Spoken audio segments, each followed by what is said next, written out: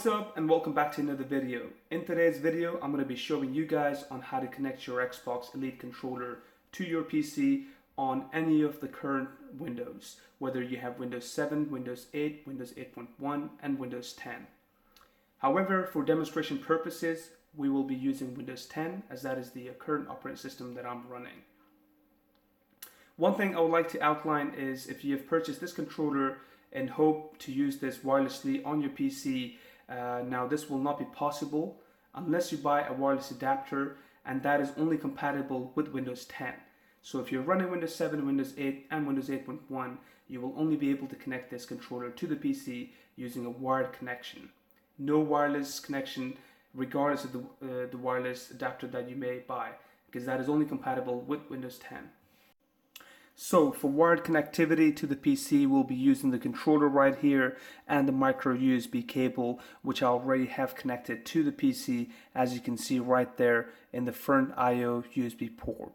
Um, what we also need to make sure is that this micro USB cable um, has the capabilities for both data and power.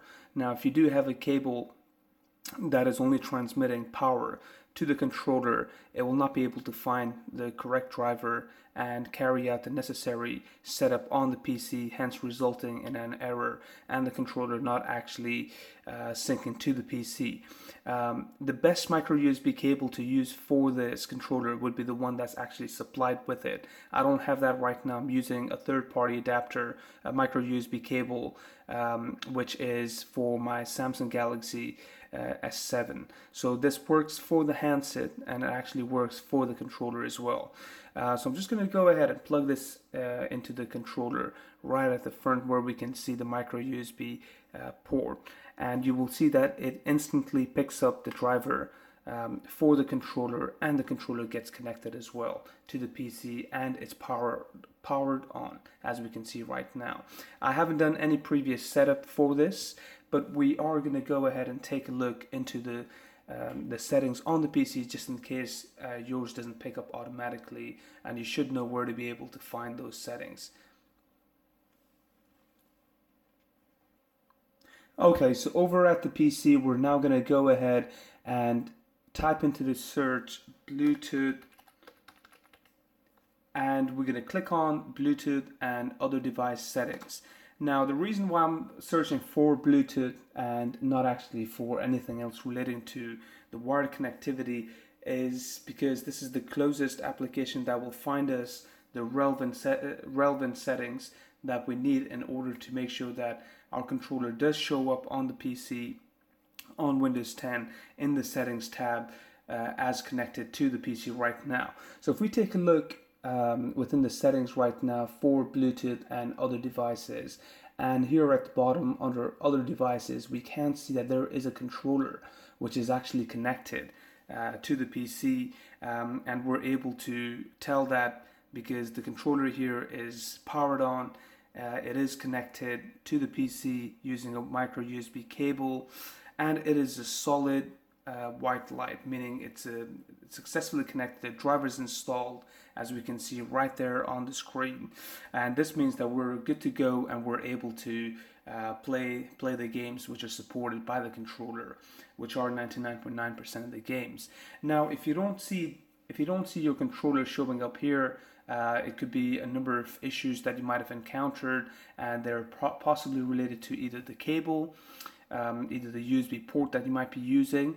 The best way to troubleshoot that would be then to go ahead and right click on your Windows icon here and click on device manager and once you're in device manager it should show up the controller um, connection or the driver here with the yellow exclamation mark uh, meaning that it you know hasn't been successfully able to connect and you might have to do a forced driver installment on that so that would be another way for you to troubleshoot that. However, for us, the controller is connected, so I'm just going to go ahead and demonstrate uh, a game using the wired connectivity on Xbox Elite controller. Okay, so for demonstration purposes, we'll be using Call of Duty Black Ops here with our Xbox Elite controller connected to the PC using the micro USB cable right here. So we're just going to go ahead and press A to see if this responds to the game and we can see that it did actually respond instantly uh, by pressing that 8 it's now launched the menu for uh, Black Ops here and we're able to navigate up and down using the d-pad and using the analog stick right here. So I won't be doing any sort of gameplay here um, it was just purely to show you guys on how to connect the controller to the PC using the micro USB cable um, and just launch the game to show you that, that it does actually respond to the commands uh, in that game. But if you do want to see any sort of gameplays, you know, make sure to leave a comment in the comment section below. I'll try to do them in the future. Uh, but this video was uh, purely for tutorial purposes. And if you do have any questions, make sure to drop them in the comment section below and I'll try my best to get back to you. Now I hope this video has been um, helpful, you have actually enjoyed watching it and if you have, then please make sure to subscribe to the channel for further content. Until next time, peace out.